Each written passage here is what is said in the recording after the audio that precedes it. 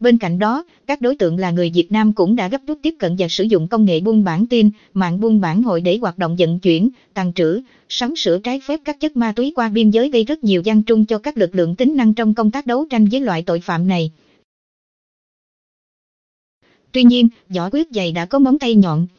Việc đấu tranh thành công chuyên án ma túy ngày 20 tháng 9 năm 2019 và vụ án truy xét ma túy ngày 23 tháng 9 năm 2019 của Cảnh sát điều tra tội phạm về ma túy phối hợp với Bộ đội Biên phòng tỉnh Quảng Trị cùng Hải quan cửa khẩu quốc tế Lao Bảo, Phòng kỹ thuật hình sự Công an tỉnh Quảng Trị là minh chứng điển hình cho sự mưu trí, nhạy bén, nghiệp vụ vững quà của các lực lượng tính năng trong công tác đấu tranh với loại tội phạm tinh xảo và khác lại gian nguy này.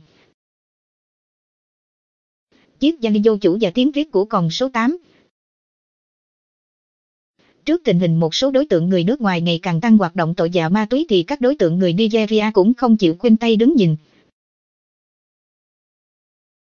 Từ một đất nước thuộc khu vực Tây Phi cách Việt Nam hàng nghìn sông các ông trùng ma túy của đất nước châu Phi này đã dày công nghiên cứu giúp để thiết lập nên một đường dây tàn trữ, sắm sửa ma túy từ Giang Ma, Thái Lan qua Lào vào Việt Nam. Để đấu tranh với đường dây tội phạm ma túy này, lực lượng biên phòng, công an, hải quan đã phối hợp nhịp nhàng, bóp gỡ thành công đường dây ma túy này.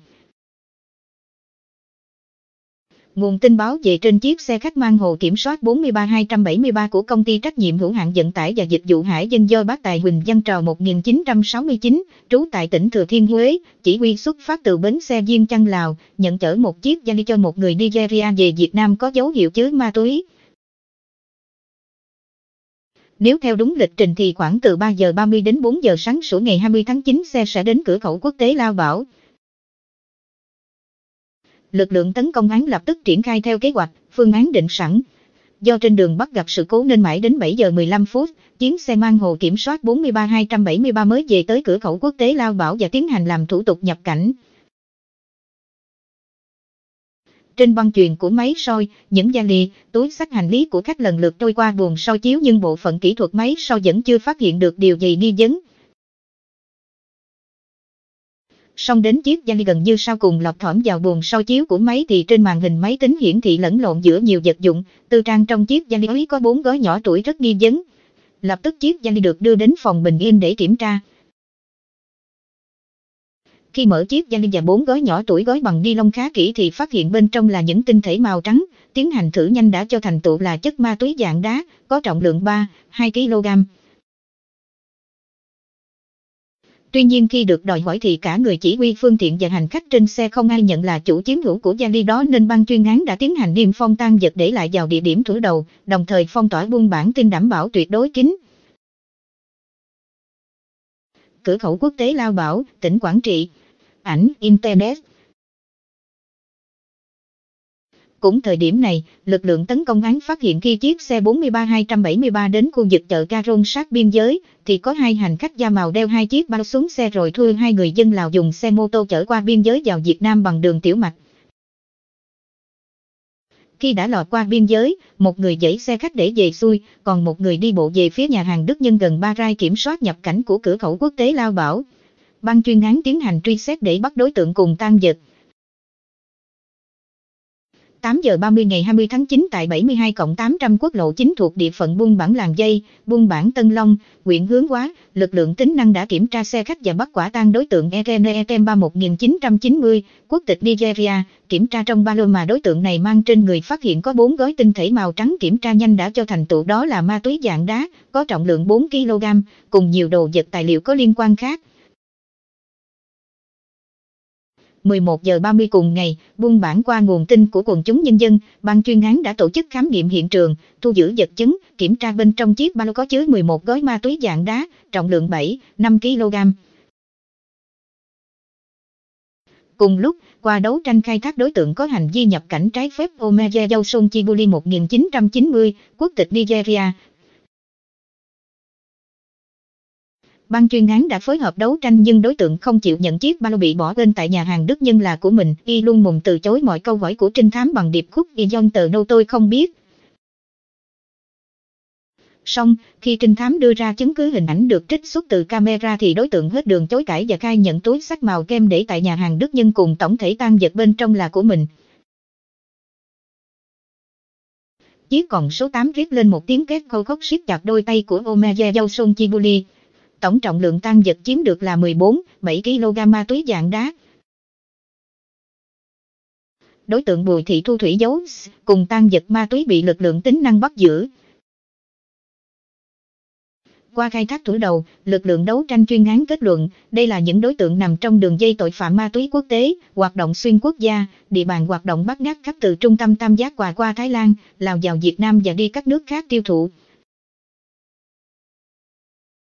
Chúng hoạt động hết sức tinh xảo, được tổ chức hết sức nghiêm ngặt, mạng lưới chân rất dày đặc, hoạt động bắt ngát khắp.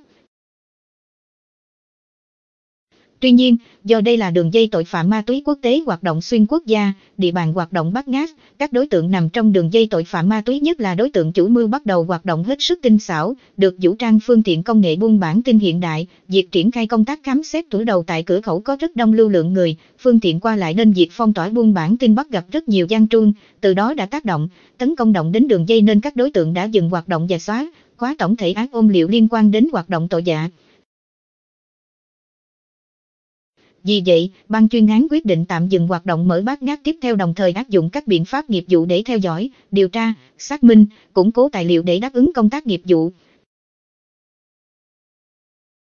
Những nội cơm điện bí mật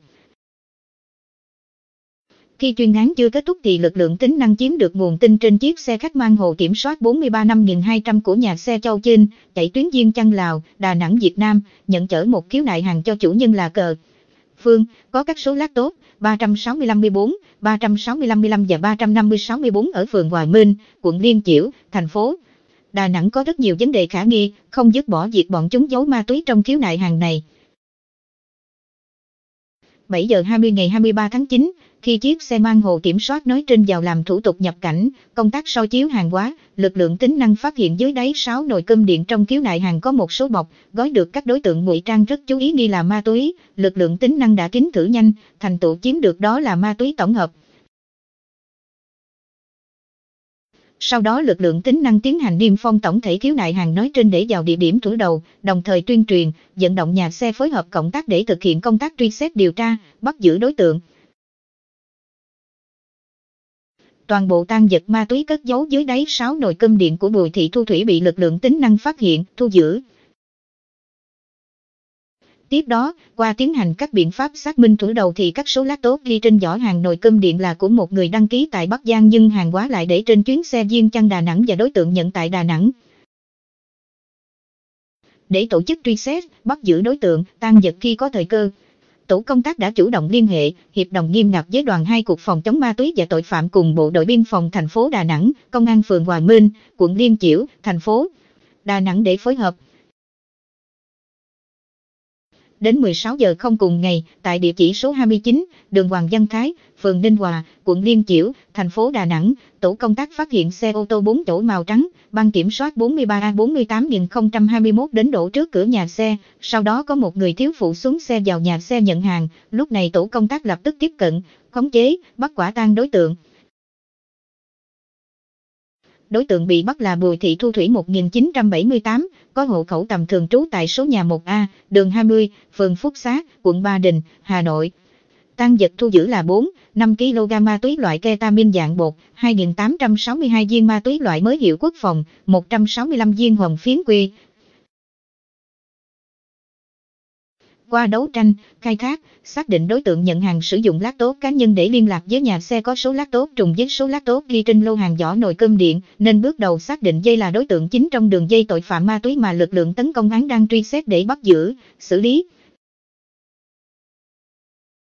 Hiện các lực lượng tính năng đang hoàn chỉnh hồ sơ, củng cố tài liệu, chứng cứ để kế tiếp điều tra, khởi tố vụ án, xử lý theo điều khoản pháp luật.